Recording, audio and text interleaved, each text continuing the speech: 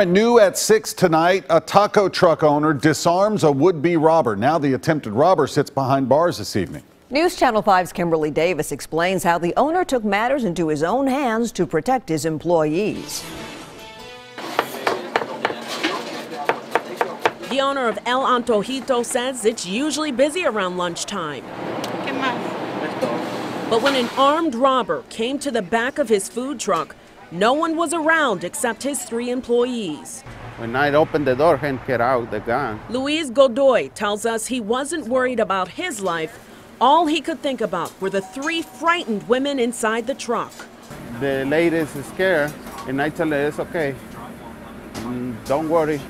Stay right there. Don't move. Luis opened the door and told the man to come in and take what he wanted. While the man was walking in, that's when Luis clenched the suspect's throat. And I have the gun.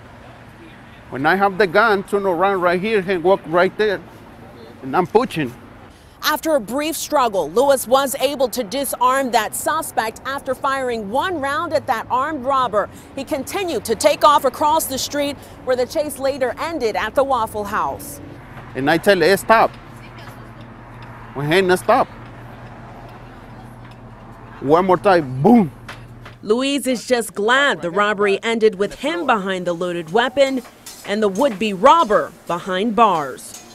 When the first time, boom, I scared because this is full, you know. In Nashville, I'm Kimberly Davis, News Channel 5. Romero Wright was arrested for attempted robbery last night and is being held on a $25,000 bond.